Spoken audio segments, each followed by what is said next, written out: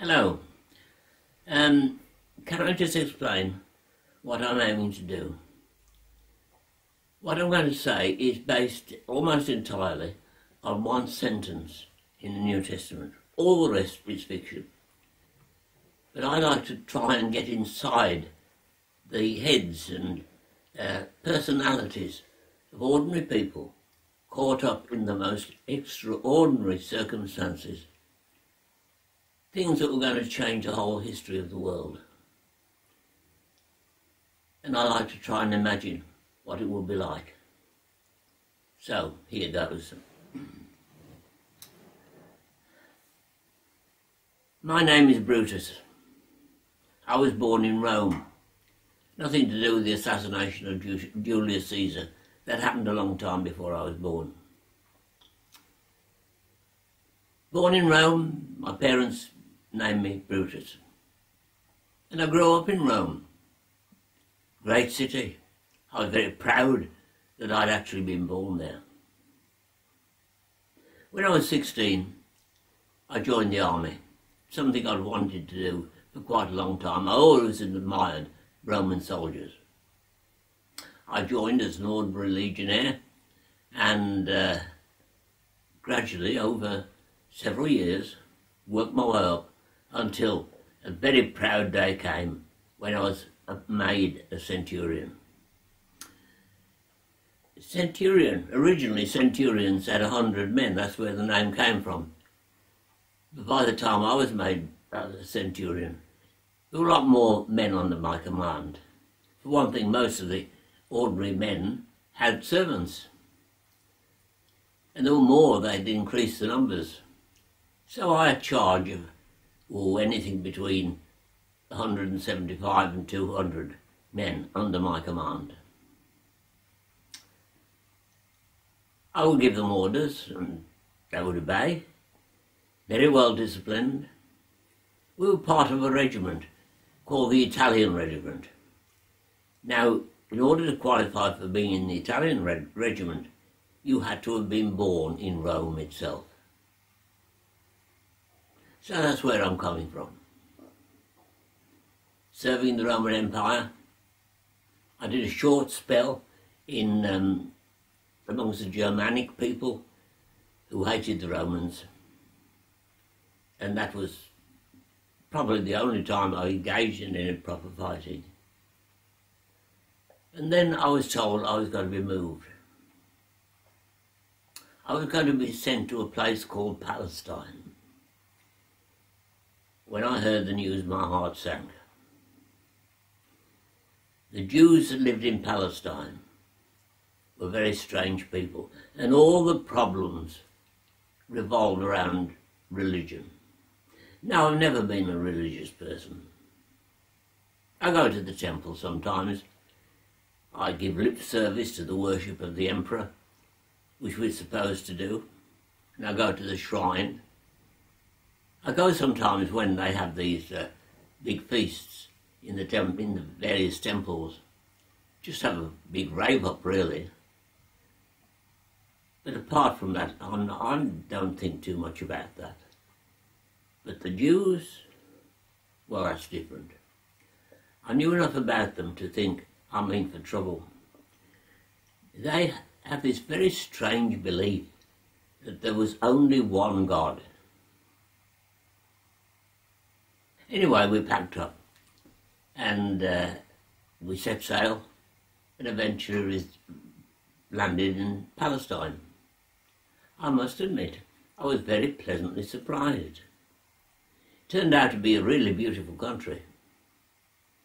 Big lake in the north, and Jerusalem, a beautiful city with a great big temple. That was out of bounds for us. The Roman governor was named Pontius Pilate. When he first arrived in Jerusalem, he put a statue of the emperor in their temple, and my goodness, that caused some trouble. There were riots, and he received his orders from Rome, take it out and put it somewhere else. So there's a separate shrine now for the, for the emperor. And the temple is out of bounds for Roman soldiers. The Jews look after it themselves.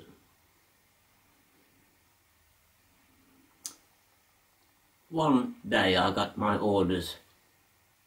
The following day I was to take part in a crucifixion. Three men were going to be executed. Now it wasn't the first time I'd done it. I don't like it.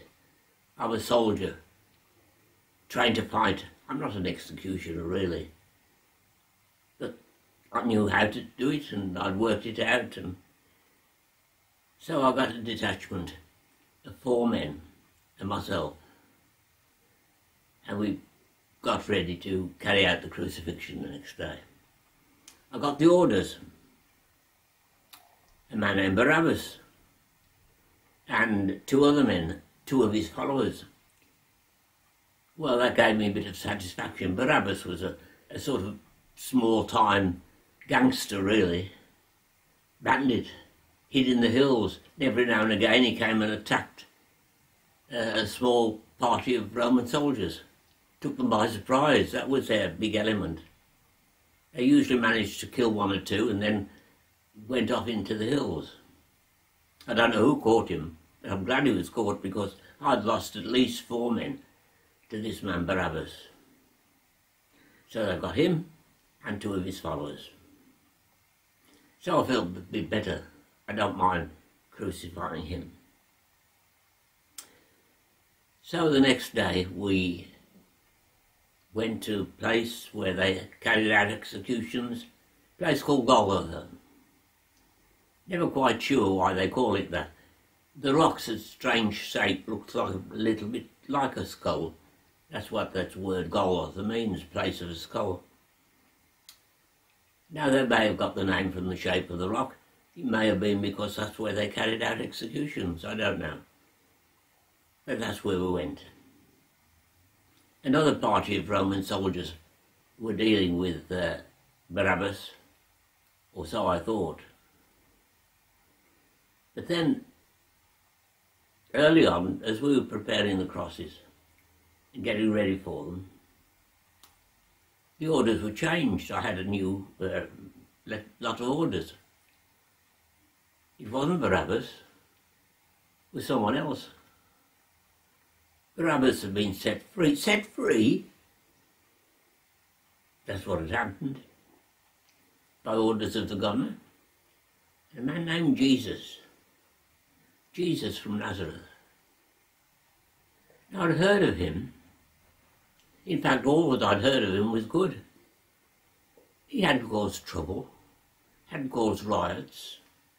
He was a preacher of some kind, a teacher going around the country reputed to have worked miracles. In fact, another centurion up in the north by Galilee, he got a servant that he really loved. And this servant was ill and he sent for Jesus. And Jesus healed him without even going there. It was wonderful, really. I heard of people who were blind being made to see again. There was a case only a few weeks ago of a young man named Lazarus who died. And he'd been dead for four days, and Jesus was supposed to have gone to the tomb, called out his name, and he came out alive. Well, for me, that was a bit too far. I, I couldn't really believe that. But a lot of people did, and they claimed that they'd seen him. About a week ago, there was a bit of excitement. There was a sort of procession with Jesus of Nazareth riding on a donkey into Jerusalem. It Didn't really cause any trouble. A lot of noise, a lot of shouting, a lot of cheering. And then they all went into the temple and whatever was happening there wasn't our concern. So we just let it go.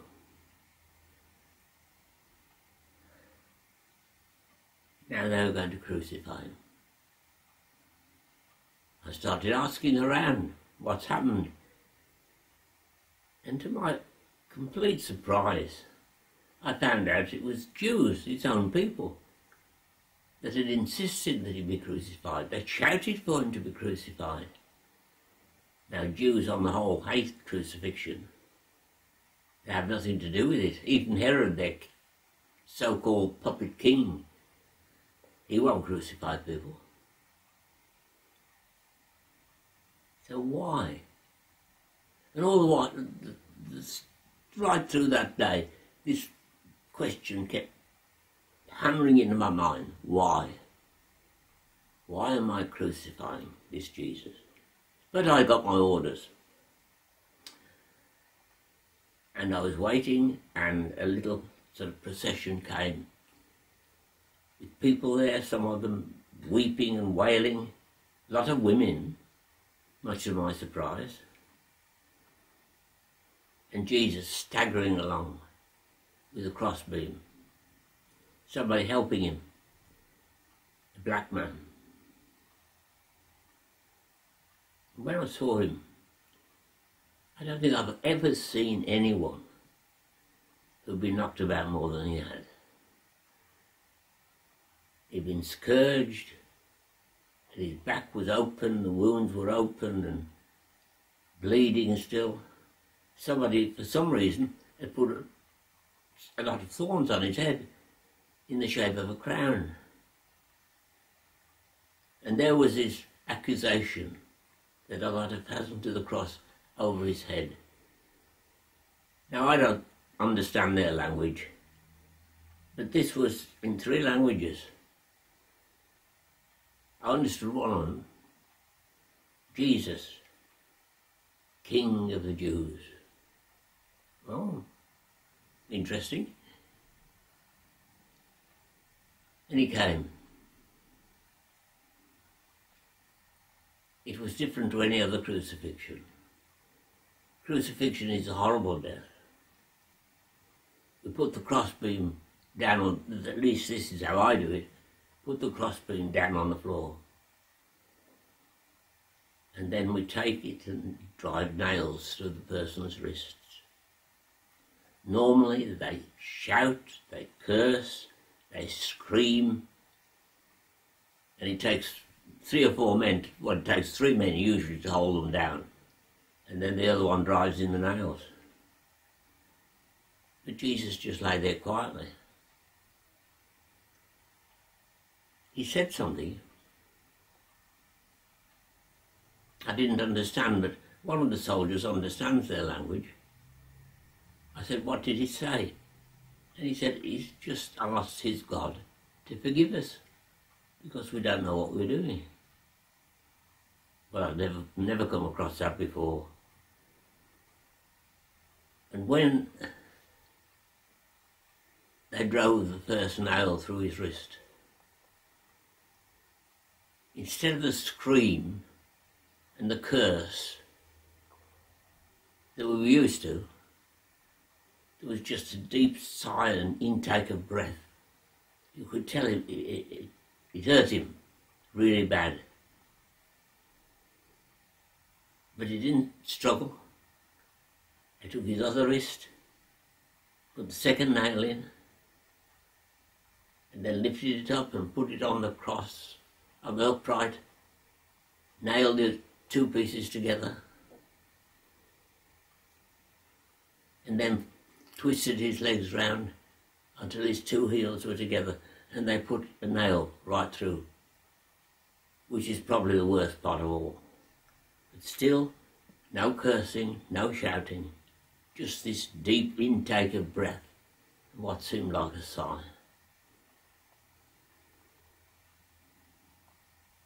We taken all his clothes off. They were lying on the floor. The other two men were brought up now. I don't know why Barabbas had gone free and his two followers were being crucified. We got all the usual cursing and shouting and screaming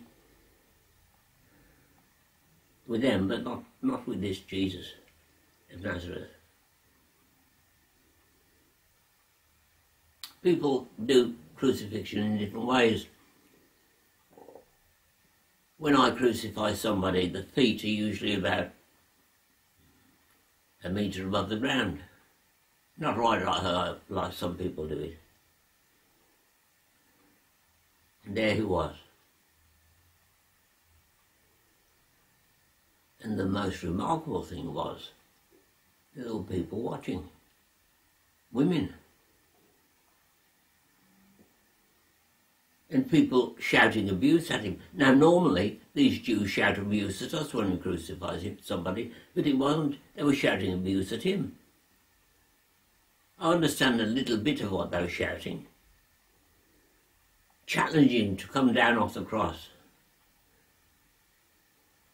There were three women that got very close. And a man was with them as well. I tried to push them back, but they wouldn't go back. They were very close. And I said to one of the soldiers, do you know who those three women are? And he said, well, the middle one is his mother. I couldn't believe that. His mother, here, at the cross. he said something to her, and he said something to the man that was there as well. And the man that was there took the mother and took her away. To be absolutely honest, I felt quite relieved. And so it went on.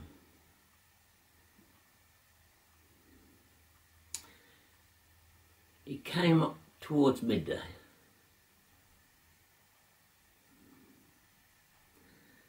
and something began to happen, which was very strange. It started to go dark. I looked. It wasn't an eclipse or anything like that, but the sun seemed to go dark. It was a strange sort of mist blotting out the light of the sun. And it got darker even the birds went quiet and everybody went quiet.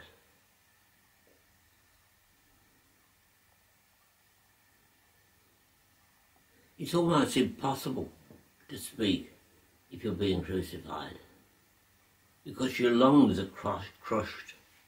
This is why people die, how people die. But this man, Jesus, managed it. It was dark for about six hours altogether. And then suddenly he called out something. I said, what's he shouting? And they said, it's a sort of prayer. Why have you forsaken me, God? I looked at him. And then he shouted, no, I did recognize this. He shouted one word, tetelestai. Means finished the thing that they shout when somebody's running in a race and finishes. Tetelestai. And he shouted at the top of his voice, I would not have believed that a man being crucified could shout like that.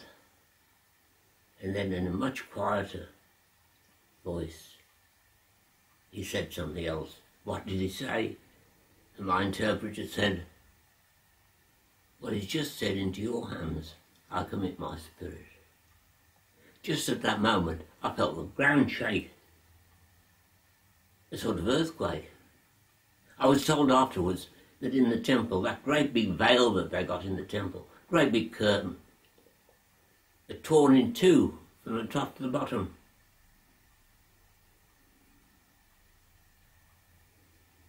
It was really eerie. Now, as I said, I'm not a religious, or I wasn't then, I wasn't a religious man at all. But I looked at that man, just died of crucifixion.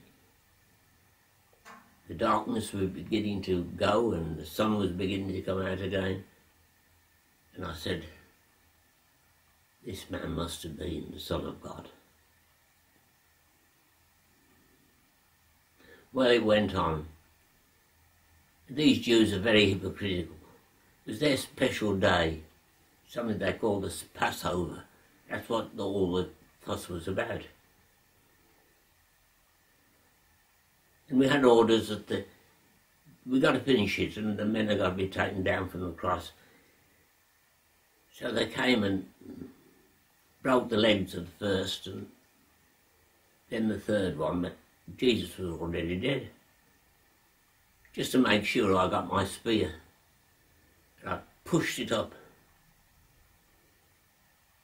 And water came out of his side and blood. And that was weird, really, because the person becomes dehydrated, there's no water to come out. And the blood is all drained out as they've been crucified. But I saw it and I can witness that that's true. That's what happened. But he was dead. A bit later on, two men came, very well dressed. They got permission from Pontius Pilate to take down his body. Well, I, I've got the order written, so I let them do it. And they wrapped him in some cloth and carried him away. That was the end of it. But you know, it wasn't the end of it. Shortly afterwards, rumours began to circulate. He was alive. This, this Jesus was alive. They'd actually put a guard over his tomb. They don't normally put a guard at a grave. And somebody said, oh, well, when the two soldiers are guarding it were asleep, the disciples came and stole his body. Roman soldiers going to sleep on duty. If that was true, they'd both be dead by now. There was something very strange going on. And then somebody started to say, well, he wasn't really dead. He was just unconscious, and when they put him in the cold grave, he came round again. I, have crucified people. Believe me, he was dead. Now that all happened a long time ago. I was still in Palestine. I decided to retire. And I've got myself a house quite close to the Sea of Galilee. It's a beautiful place. And I'm going to stay here for the rest of my life. You see, something else happened. People were going around telling the story of this Jesus. I heard it. And just after I retired, living by the Sea of Galilee, I started to ask questions. And they sent a man named Peter. And he talked to me all about Jesus.